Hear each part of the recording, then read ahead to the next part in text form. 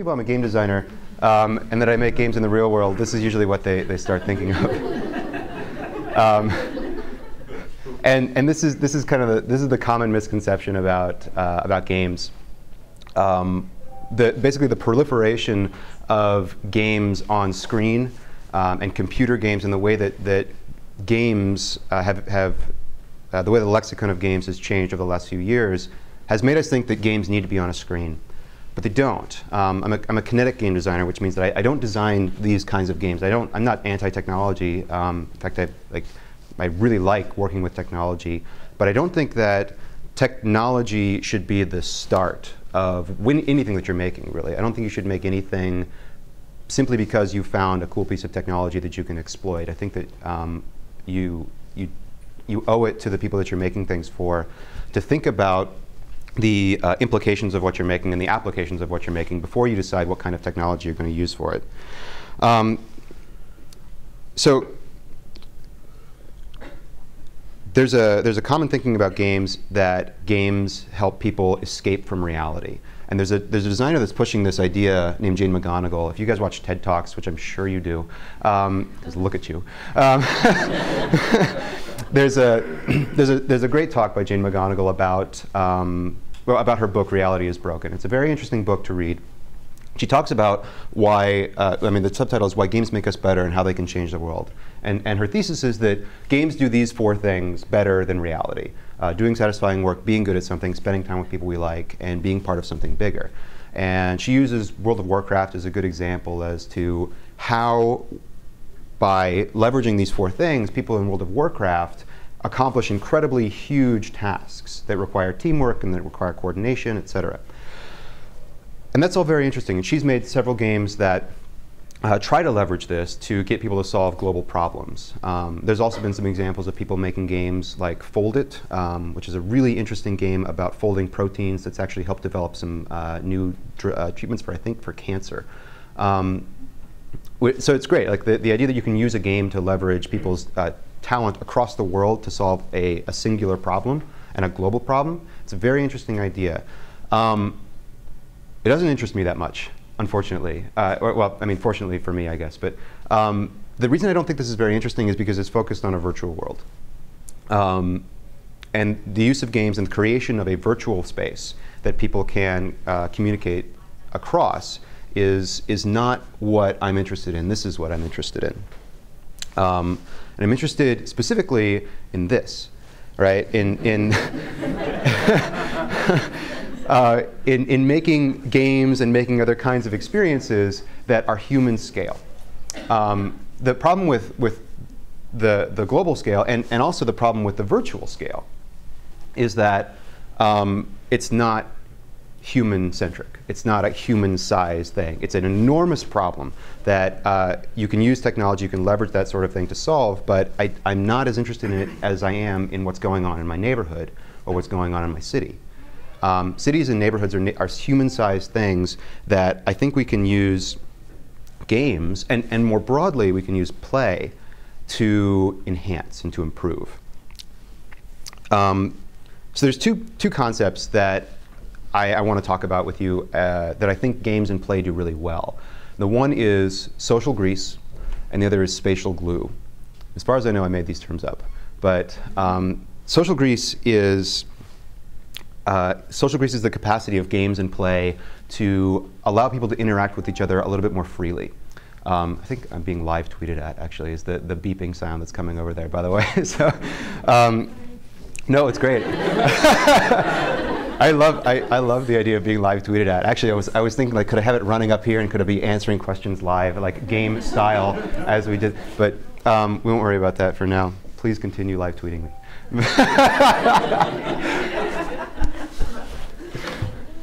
I'm gonna I'm gonna mute this so you can tweet in anonymity.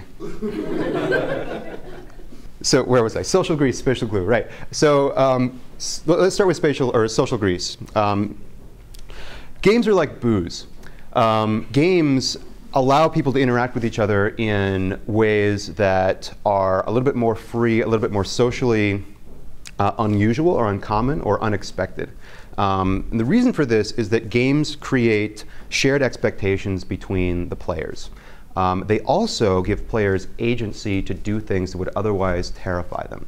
Um, we, we, played a game up here earlier. We played two games up here, actually. Um, one involving uh, glow sticks dangling from your elbows, um, and another involving hand tapping. And both of those games, uh, both of those games make people touch each other and make people get very close to each other in, in ways that are generally not socially acceptable. Um, the, the idea that you would be so close to a stranger that you may touch them or that you may brush up against them is very uncommon in this society. Um, and it's, it's, a, it's an unusual thing about games that once we say, no, we're playing a game, this is a safe space, this is allowed, you have authority to touch other people. Uh, the, the ability to have those kind of interactions uh, increases greatly among people. Um, the other thing about, about the social grease is that games create their own language for people to communicate with.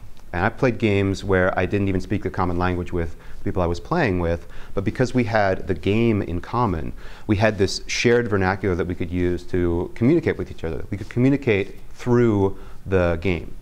And this is true not only of people that we don't share a language with, but of people that we do share a language with. Uh, games break down uh, a barrier between individuals because once we play a game with somebody else, we have that thing in common. And now we can go from this thing that we had in common, this experience that we shared, to start talking about other experiences that we can have or that we have had in our past and our futures. Um, and because of that, I think that games really allow people to engage with each other in, um, in ways that, that can be very profound. Uh, I run I run game events regularly. All, all these pictures are from uh, most of these pictures are from game events that I've I've run, uh, games that I've created, etc. And one of the the interesting things about these events is that people come in as strangers and they leave as friends, and and that's because this this game experience allows people to have that kind of interaction with each other. Um, you can make an argument that this kind of social interaction is possible through online games, but I, I don't think it's nearly as profound. I think that um, having a, an experience with other people in a physical way, in, in, a physical space, in the same physical space, is really important for um, having an experience that is impactful, but also long-lasting. And this actually leads to the other quality that I wanted to talk about, which is this idea of spatial glue. Um, games and interactions are unique because they, they, they are in a place. They're imbued in, in, or they rather, they imbue a place with meaning. Um, if you if you take uh, if you take a, a, group of players and you and you give them a task to do in a space, you give them a game to play in a space, um, that creates a very powerful resonance with that space.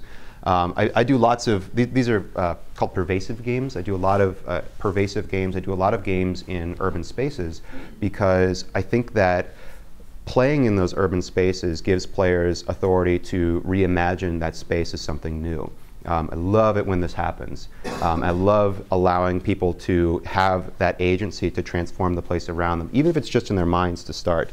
And I'll talk about why I think this is so, but to give you an example, uh, I I played a game called Field Crumpets on uh, the University of Pittsburgh lawn.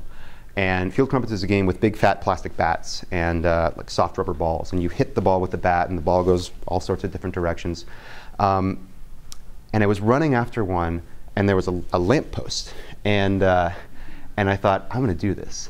And I ran and I jumped and I grabbed the lamp post and I swung around like, uh, like an action hero and I hit the ball back into the field of play in like one smooth motion. And every time I walk by that lamppost, I remember that moment. So now, now I have this like very personal and very strong connection to this place, to this this stupid lamppost, right? This lamppost that is otherwise I would have walked by every single day of my life and never had any association with it. If somebody tries to tear that lamppost down, it's going to affect me, right? and you laugh, but this is this is really important, and this is really an important way for people to um, have this sense of ownership over the places that they live, the places that they um, experience, the places that they go through every day. Um, and I think that the more you do this, the more, uh, the more it creates a feeling of community around the place and around the, the things in that place. I love games uh, and I love playing in urban spaces because it associates the players with that space. And I think that the more you do that, the more agency you give people over these spaces, and the more agency that you give them um, to reimagine them as whatever they want. I mean, that bush in this game is no longer a bush; it's a place to hide. That, you know, that brick wall is the place where that ball bounced off of that one time. These now, these objects now, instead of being part of the background, have meaning, and by creating meaning, we create value in in these places, and when we create value, we create uh, we create this opportunity for people to be invested in the places that they live and work and, and play. Um, what's really going on here, I think, is the, is the nature of games and play. And, and I've been using games and play interchangeably. Um, games are, I think, is a limiting word. Uh, so you can play and not play a game.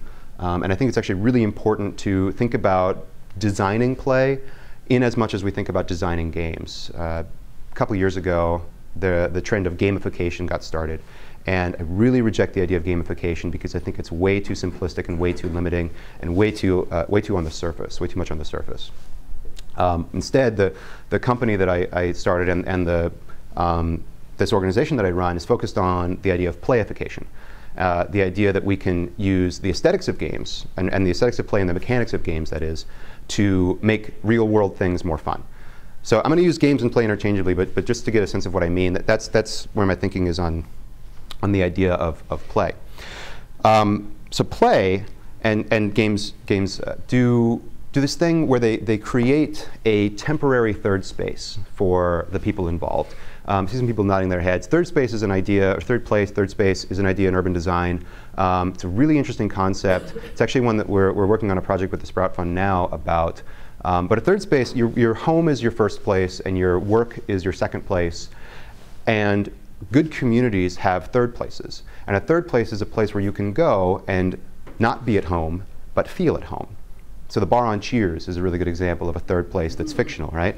Uh, great coffee shop, and you probably have one in your neighborhood, uh, is a place where you can go and have an experience of being welcomed, uh, meeting new people, welcoming them, being around other members of your community uh, in this place that is not your work or your home, in this third place.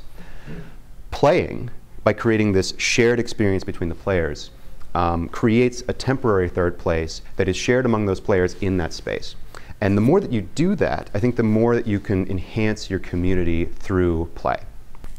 So this is the project we're working on now. Um, and it's, it's been tragically delayed. Uh, just because of the, the, the, amount of other things that have, have had to happen. But uh, this is a project called We Are Here. It was a, a recipient of a, a, Connect City grant from Sprout and uh, the Social Innovation Exchange. And what we're trying to do is we're trying to identify third places around the, uh, around the city. Um, this is Frick Park Market in, um, yeah, some people are nodding their heads. You know how cool Frick Park Market is. Um, so these are, the, these are third places that we're starting to identify. We're asking, asking for submissions. Uh, if you have any ideas about third places in your neighborhood, please send them to us, and we'd like to go and look at them and take photographs. Um, but the, the, the extension of the idea is now not only to just take this idea, and we could create a, an online map of third places as one example, but I, I want to bring this experience of a third place to people on the, on the street level and have it be part of their everyday experience of the city. So we're creating these wayfinding signs that direct you from wherever you are to the nearest third place. And it's our hope that we can put these in places where you're in this neighborhood and now you learn of a third place in that neighborhood.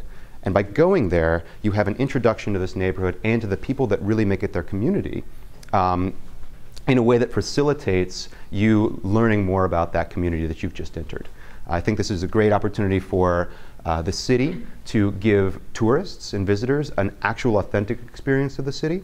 But I also think it's really important for residents and people who are normally here to go between neighborhoods and have not just a, a temporary or transient experience, but an actual deep experience of that community, that community that is not their own at this point.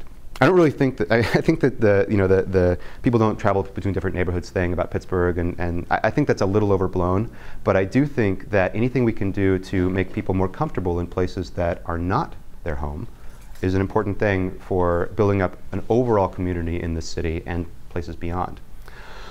This is the first City of Play project that City of Play is undertaking. And uh, to give you some background, City of Play started with, uh, with this kind of activity uh, in 2009. In 2009, uh, we, we received a, a seed award from the Sprout Fund, and we used it to plan our first festival of games.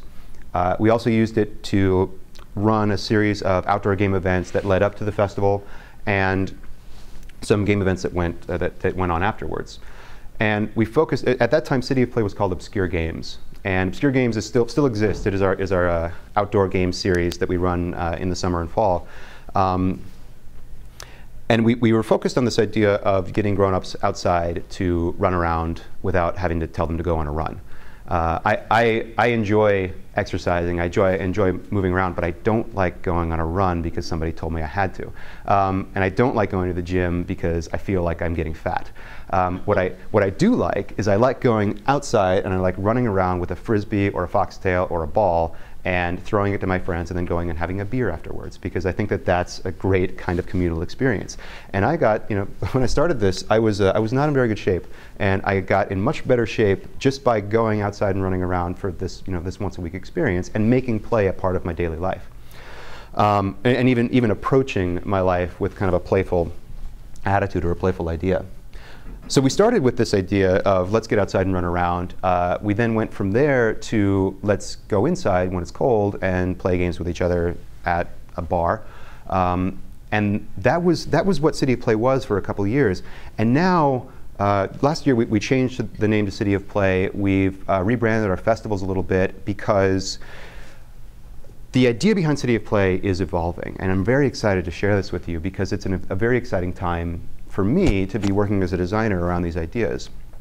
Um, like I've been explaining, I think that games are a very powerful tool, play is a very powerful tool that we can use to reshape our community, and that's what the focus of City of Play is going to be for the next few years. Um, I mentioned that We Are Here is, is the first City of Play project, and at our last festival, uh, which was in August downtown, uh, we allowed other, we, we basically put out an invitation, a challenge to our participants there to create new ideas for other ways that people can engage playfully with their city. We had fantastic ideas come through, and, and uh, within, within three hours, people designed, prototyped, and implemented some of these different ideas. Uh, there was a, a, chalk outline of dance steps on a crosswalk. Um, or rather on, on the edge of a, a, corner. So while you were waiting to cross the street, you could practice your dance steps. And, and yeah, it is awesome wait for it, here it comes. Not only did the, the this group uh, who was designing this make them on one side, they put mirroring steps on the other side. So two people could come up and accidentally start dancing with each other across, across this, uh, this thing. So you guys know what I, what I just said about having that communal experience of play, having that, that experience of play in a space and sharing this experience with another person. Can you imagine the impact of accidentally dancing with a stranger um, in, in the middle of your city somewhere? It's not just about brightening your day, okay? It changes your perception of this whole city as a place to live and a place to feel alive. Um, so over the next few, few years, I want to build more and more of these things. I want to enhance the way that we experience our everyday uh, city life by creating opportunities for people to play accidentally or intentionally as, as they see fit. And call these environments of play. And I think that the more we can create environments of play, the, the better the city is going to be. Um, I also believe that we can use play to highlight urban and social issues. This is a game that we made, and the game is actually up here um, at that little, that little uh, poster there. This is a game we made for the Gaji Festival in 2010, I think. Um, it's a game called, it's a game based on a, a game from London called uh, Visible Cities. This is Visible Cities Special Delivery. The idea here is that you're traveling, you're, you're a, a postal carrier traveling through different universes. And in each different universe, you have to travel through several of them in order to deliver your package. What we did was we took this idea of multiple universes and we mapped it onto vacant spaces on Penn Avenue. And there were uh, a variety of abandoned storefronts uh, on Penn Avenue at the time, and we, we put uh, we put new identities on these places uh, as, as, they, as though they were occupied in these alternate universes. The idea being to showcase these places not for what they were, which was abandoned and derelict, but for what they could be, which is, in this case, a vegan fur shop, um, or a, an ice cream parlor, or a, a variety of other um, things that enhance the community that just aren't there yet. And um, it's, it's, I, I believe that this game really helped people who, who played it see these places as what they could be and not just kind of brush by them for, for what they were. Um, this is another example. This is not a, a game that I, I, made, but this is a designer who's also working around these ideas. Her name is Candy Chang. Um, I'm pretty inspired by some of the work that she does. And she does a great job of giving people a voice in their community. This is a project called I Wish This Was. She gave, as you can see, she gave uh, name badges with I Wish This Was and a blank slate, uh, allowing people to relabel abandoned pieces of their city with what they wanted to see in that neighborhood. Uh, many of our projects focus on giving people a, a, blank space to write in what they want and displaying that publicly. And I think it's a great way to get people started talking about some of these things. Um, and a great way to draw attention to abandoned places that may otherwise have been forgotten um, and, and really to draw attention to the community that's behind that space and, or, or around it. So I think that Pittsburgh has this opportunity to become a world leader in urban play. And it's not just because of me. It's, it's, this city is, more than any other place I've ever been, a place that gives its citizens agency to change it.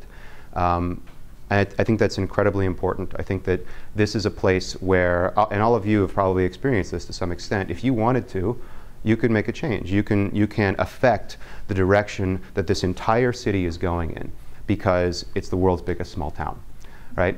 And um, so I think we have this opportunity to use play as a tool to reshape our city, and, and I, I'm, I, I want to be part of it, and I want all of you to be part of it as well. Because um, for, for, for these reasons specifically, one, play is cheap. All right, play is a really cheap way to change the way we conceive of our environments. This is a game called Buck Up that uh, my friend and I made for $100. Uh, and it was a game where we hid dollar bills in balloons around the city. We tweeted where they were, and we ended up having people following us, like stalking us on Twitter, like sneaking up on us to try to to try to get to these balloons to win a dollar. Um, as soon as possible. So this is this is a, a, game that spread throughout the entire city. It was impactful in all these different neighborhoods, and it cost hundred bucks, right? Play is accessible. This is a project in um, London called 99 Tiny Games, and it was built around the 2012 Olympics. And the reason it was built was because even though the Olympics were in London, not everybody in London was going to go get to see them, right? So London hired this game, uh, this game design or this uh, interactive design company called Hide and Seek to make uh, a game experience or an experience of games that could happen in every single neighborhood of London. There's 33 of them. Um, so we win. And uh, there, are, there were three games in each of these 33 neighborhoods. These games are printed on vinyl, they're, they're plastered on the sidewalk, and they require nothing else except what's around you to play them. So by engaging with these games, everybody in the city had the opportunity to have an experience of the Olympic Games in the sense that this was associated with it, even if they couldn't actually go see the Olympics themselves. And lastly, games are impactful. Um, this is one of my favorite games that I've ever made. It's a game called Curator, um, QR8R. I'm really proud of the title. Um, and Curator is a game about art. And it's a game about understanding art, it's a game about buying art, and it's a game about being a critic of art. What I love about this game is it uses a pen and paper, um, and it sends people on a mission through a variety of places in, to, to, look at a variety of pieces of art in the museum. Each person is a curator of their own personal museum, uh, chosen at random by picking a Mad Lib style noun and verb. So it might be the Dog Museum of uh, hairy art, or the Starfish Museum of incredible art, or whatever, whatever their museum might be. Um, each of these players is playing with a different eye, a different lens through which to see all the art in this museum. What's awesome about this is that you go through the museum, you spend your, your money, you buy as many pieces as you can, and then you come back and you talk to a critic to get bonus points. And in talking to this critic, you have to defend vehemently why this piece really deserves to be in the Starfish Museum of Incredible Art. And what this does is it gets people who don't think they have authority to talk about art, talking about art. It gets people to have an opinion about a piece of art they may have walked by another time at any, any other point. It gets people to talk with authority on, um, on these things that they may not feel they're credited, they're, they're, they're credible in. And by doing that, it changes the way that these, they experience this art, and I think it enhances their experience tremendously. This game costs twenty dollars to make. This is a, this is a, an amount of time, you know, the, the, amount of time in conceptualizing and and everything is, is, is, irrelevant because this costs twenty bucks, right? It costs twenty bucks to give people a brand new experience of their museum that is different every single time they come back. Um, so we're, we're a city that's really famous for its sports, right? We're famous for our love of sports, uh, this guy especially. Um, but uh, and, and I mean, the, the, the, fever around the, the Pirates getting to the postseason this year, I mean, was incredible. Um, so my, my feeling is what we've done up to this point is we've, we've pushed the idea of play and the, the idea of games and sports onto the professionals, and we, we've, we worship them uh, for it. And what I want to see is us take, take some of that back, bring some of that back into the world of everyday people and everyday experience of, of the city. Um, so this is, this is my next project. Um, and this is, this is the next City of Play project that I want to work on. This is an example of a, a vacant lot, uh, I think in Larimer. Um, what I want to do is I want to transform some of the vacant places in Pittsburgh into grown-up playgrounds. And I want to create places where people can go and be together, play a game, play cornhole, play ping pong, whatever they want, hang out uh, in a place that's not a bar, in a place that doesn't cost any money, in a place that is, uh, for all intents and purposes, a third space and I want to create them in places that were previously overlooked and previously vacant. Um, I think that by building these, and I think you can build them cheaply, uh, I think you can run this whole program cheaply, um, and I think that you can run it in a way that is impactful to the people, not only of the neighborhood, but people who are coming through. Um, it's my feeling that if, if, if we do this, we can highlight some places that people already are that are being overlooked. And it's my hope that you can use play in this way to start a revitalization process in different neighborhoods. So by showing where people want to congregate or are willing to congregate, um, and showing that to people who can transform these neighborhoods through actual infrastructure. Um, I think that that's a great way to start, uh, start a trend in, in various neighborhoods around the city of revitalization. Um, and then if, if, you know, if our vacant lot gets built over and a, and a, a new place that the community wants is, is put in, that's fine, because we just move it to the next place, right? We just move this, this experience of play around the city uh, to different places. And one of the exciting things, I'm a, I'm a member of TechShop now, um, which was a, a, little present I gave myself. And I, I, did it because I think that there's a tremendous opportunity to be around creative people in this space as well as other places in the city. And it, it provides the tools that, that I want to use to build this. Um, but it's, it's, not a, it's not a thing that I can do by myself because I don't know how. Um, and so I'm, I'm kind of opening this up to anybody that's here, um, anybody that's interested in these ideas to become a collaborator and become not, not just a collaborator, but a creator of these, of these different kinds of spaces and experiences. Um, that's, so that's, that's the vision for, uh, for next year. And, and I want to get this started over the winter, and I want to see what we can do to work with the city uh, to make these places happen um, and create a, a more pervasive experience of play for all the people in Pittsburgh. Uh, in the meantime, I want to talk about this. um, so this is fantastic, right? This, this is like the fact that we have a giant duck sitting out. who does that? So I, I, think that this is really representative of the value of uh, the value of playfulness, you know, and, and approaching your city through a, through a playful lens. Um, everybody loves the duck. everybody loves it, and it's and, and the most profound thing about the duck is that it's a rubber duck. Like it's a it's a giant rubber duck. You go down and see it, and like, yep, that's a giant rubber duck. That's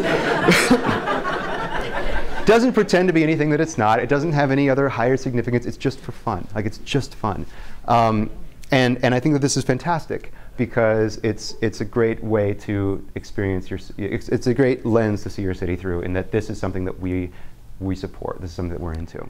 Beyond that, if you want to talk to me, if you want to email me, if you want to live tweet at me, um, everything is at cityofplay.org. So we are on Twitter at cityofplay. We are on Facebook at facebook.com slash cityofplay, and this is my email address. I, uh, I'm also starting, a, well, I've been running a company for the last couple of uh, years, and um, next week we have a big demonstration, so I won't get back to you right away. But but I promise I read all the emails I get and I will respond to it as soon as I can. Uh, and I love to hear what you have to say. So thanks very much.